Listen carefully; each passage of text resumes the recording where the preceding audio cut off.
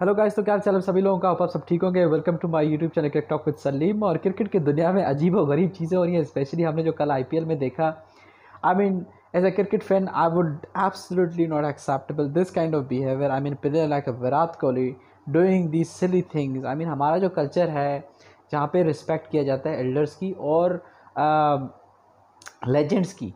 और लेकिन यहाँ पे टोटली उल्टा चल रहा था। विराट कोहली का जो बिहेवियर था to toward the Dada Sourav Ganguly I mean I was the lucky one to watch him playing live back in two thousand five in India tour Pakistan I mean he is not only a good cricketer but he has been a good personality as well but अभी भी I think he served team India a lot and this kind of behaviour from player like Virat Kohli जो कि बेहतरीन cricketer माने जाते हैं दुनिया भर के aggression is very good aggression against opponent is very good but not disrespecting aggression और डिसरिस्पेक्टिंग में आई थिंक बहुत फ़र्क है।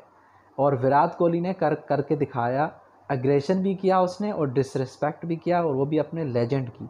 कुछ लोग कहते हैं कि जी, बहुत अच्छा किया विराट कोहली को आई थिंक मैं उनको ट्रू क्रिकेट फ़ैन मानता ही नहीं हूँ। आई थिंक वो लोग क्रिकेट जो है वो पिछले दो तीन साल से देख रहे हैं, उन क्रिकेट को फॉलो कर रहे हैं।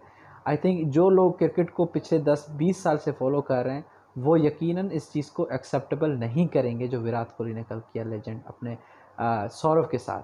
But what you guys think about it do let me note the comment session Virat Kohli और दादा का मसला कोई नया मसला नहीं था, काफ़ी पुराना मसला था. जब वो बोर्ड के चेयरमैन थे और उस वक्त विराट कोहली की जो परफॉर्मेंस थी, वो बिल्कुल ही बुरी थी और उस वक्त कैप्टनसी के इशू आए, वो टीम से बाहर हुए कैप्टनसी से जो है वो उन्होंने हाथ धोना पड़ा. लेकिन लोगों का ये कहना है विराट कोहली का भी ये कहना है कि जी मुझ पर दबाव था मुझ पर प्रेशर था from the board from the Sourav Ganguly.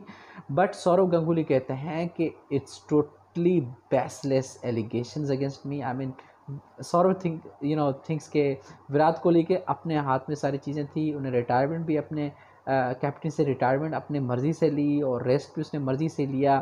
खैर एनी anyway, हम उस जो है वो डिबेट में नहीं जाते लेकिन हम बात करेंगे कल की जो मैच हुआ somehow Royal Challengers Bangalore win the match जिसमें 50 मारी विराट कोहली ने। लेकिन जब विराट कोहली ने कैच पकड़ा अपने ओपनर टीम का उसके बाद जो स्टेयर की उसने जो कोच हैं ओपनर टीम के I forgot the name I it was Delhi I don't know which team it was but was uh, very silly and very sad to see these kind of things I mean, Team India has is a world class number one team.